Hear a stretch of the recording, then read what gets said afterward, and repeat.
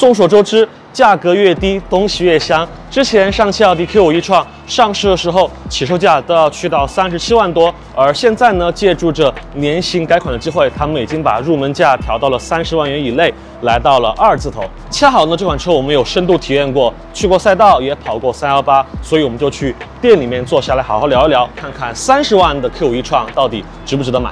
这台车呢，大家都已经很熟悉了，所以不用我再过多介绍什么。我们简单挑几个重点吧。MEB 的纯电平台，然后全系标配八十三点四度三元锂电池，车长四八七六，轴距二九六五，提供了三排座，是一款纯电的中大型 SUV。MEB 平台呢，肯定绕不开后轮的这个鼓刹了，在这呢，没有任何要给它洗白的意思。首先。它肯定通过了厂家各种的试验。其次呢，我们亲身的体验，开这台车走三幺八那些连续的下坡，其实也没有感觉到任何的制动力有衰减。其实呢，鼓刹更大的问题在于视觉层面，说白了就是看上去不好看。如果说这台车可以用一个低风阻的封闭式的轮毂，应该就可以解决这个问题了。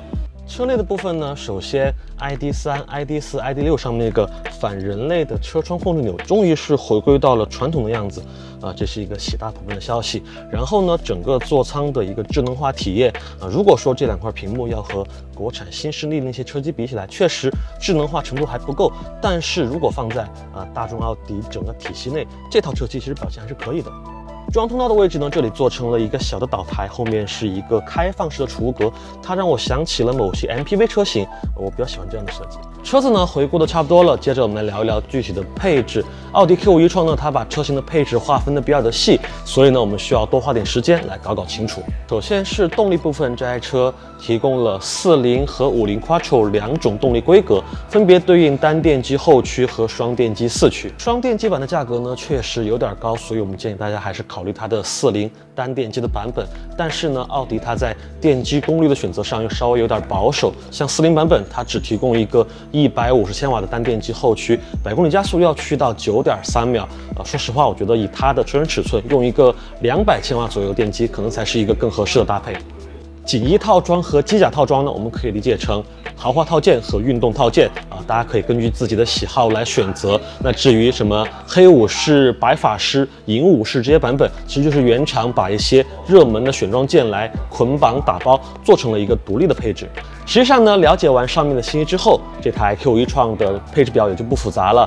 低配四零闪耀型，中配四零星耀型，还有一个高配的五零 Quattro 荣耀型。实际上呢，这次二十九点八五万的低配闪耀型是他们新增的一个配置。那相比起中配，它去掉了前排座椅加热，呃，矩阵 LED 变成了普通 LED，轮毂也从二十英寸变成了十九英寸。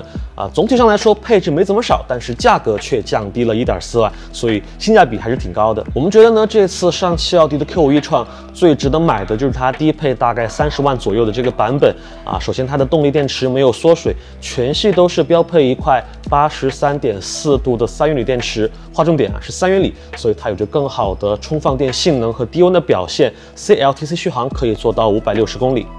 不用去考虑第三排，你就把这台车当成一个大空间的五座 SUV 来用。它有着一个非常宽敞的后备箱，同时第二排乘坐空间也不错。而且作为豪华品牌，这台车的整体的设计和形象也都很在线。如果说主要市区里面来用，用它来取代一下丰田汉兰达或者大众途昂，我觉得都是挺合适的。Q5 e 创这波降价呢，毫无疑问会影响到宝马 X3 和同门的奥迪 Q4 e 创。那至少那些对于空间有追求的用户，很容易就被它吸引过来了。而据说之前宝马 iX3 在降价之后呢，销量很快有了反弹。你觉得同样的剧情会发生在这台上汽奥迪的 Q5 e 创上面吗？评论区我们一起来聊一聊。